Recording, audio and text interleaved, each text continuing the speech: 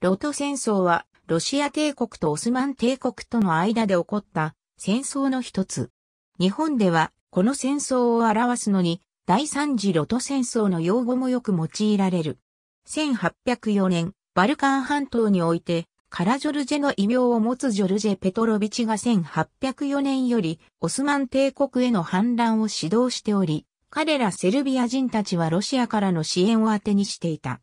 また、ボスニアやブルガリアでも反乱が起こったが、これらの鎮圧をめぐってロシアが介入した。1806年、オスマン帝国は支配下のワラキアとモルダビアにおいて、親ロシア派の総督を罷免し、また、キュチュクカイナルジ条約の規定を破って、ボスポラス海峡及びダーダネルス海峡のロシア商船の自由通行権を停止した。これに対し、ロシア軍はワラキアとモルダビアを占領して、これに対抗し、両国は戦争状態に入った。これに、先だってロシアは第三次対仏大同盟の一員としてナポレオン戦争を戦っていた。同盟国はグレートブリテン及びアイルランド連合王国、オーストリア帝国、ナポレ王国、スウェーデン王国、ポルトガル王国であった。ロシアのツァーリー、アレクサンドル一世は、ロシアが1805年12月のアウステルリッツの戦いと1807年6月のフリートラントの戦いで大損害を出したことから、この戦争への深入りを回避しようとして、ナポレオン一世と秘密裏に接触し、1807年7月、ティルジットの和訳を結んで同盟を離脱し、他の敵と交戦できるようになった。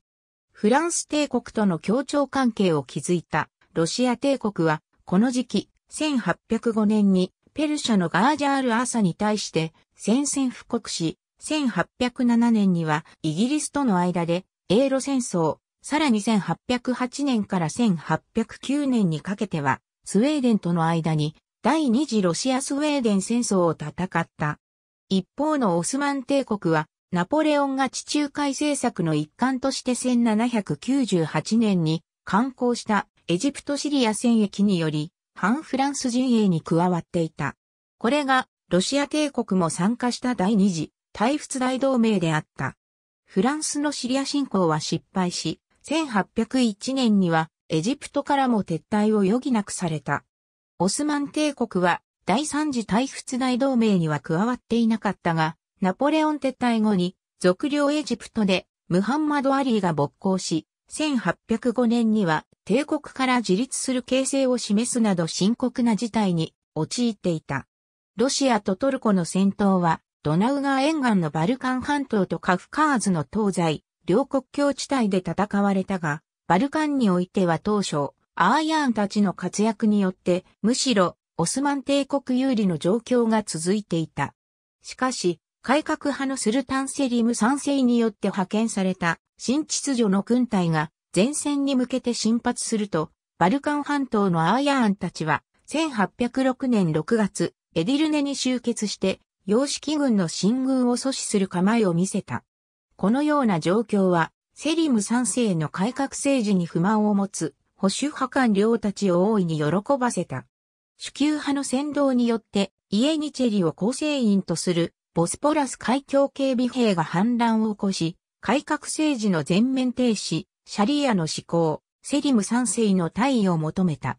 これにより、1807年5月、セリム3世は廃位され、ムスタファ4世が即位した。一方のロシアでは、一戦を退いていた往年の名将ミハイル・クトゥーゾフが復帰し、ピョートル・バグラチオンと共に、モルダビア軍を指揮して軍港を挙げた。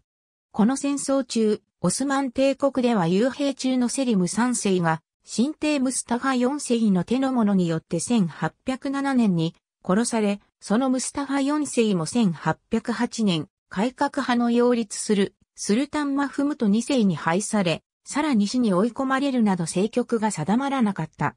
1807年には、セルビア北部にあったオスマン帝国側の要塞、ウジツェがセルビア人の手によって陥落するなど、次第にオスマン側の配色が濃くなっていった。ロシア帝国は5年にわたるフランスとの協調関係で利益を得たものの、仏露両国の緊張は緩むことがなかった。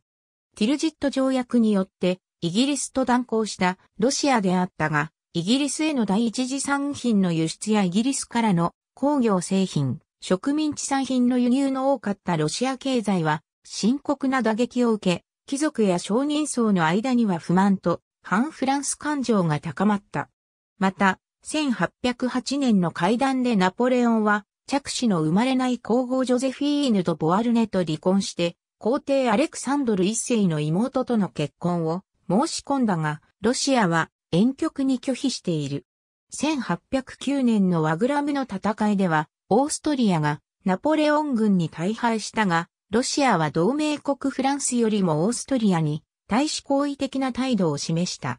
1810年、ナポレオンはオーストリアの王女マリア・ルイーザと結婚して、オーストリアとの関係を深め、北ドイツのオルデンブルク公国を併合したが、これはロシアを大いに刺激することとなった。ロシアはイギリスとの関係を改善し、中立国に対して国内の港湾を解放するなどナポレオンの対英政策に公然と非協力的な態度を示すようになった。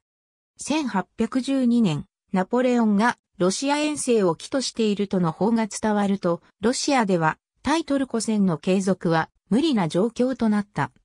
一方のオスマン帝国内部でも、新帝マフムト2世が推進しようとする政治改革と対保守派構想のためには、ロシアとの戦争は足かせとなった。こうして、ロシア帝国、オスマン帝国の両国は1812年5月にワラキアの都市ブカレストで、ブカレスト条約を結び、ロシアがベッサラビアを併合し、ワラキア及びモルダビアをオスマン帝国に返還。オスマン帝国はセルビアに対し若干の自治を与えるという条件で講和した。セルビアがごく限定的なものであれ、自治を獲得したことは、後の独立への足がかりを築くものであった。ありがとうございます。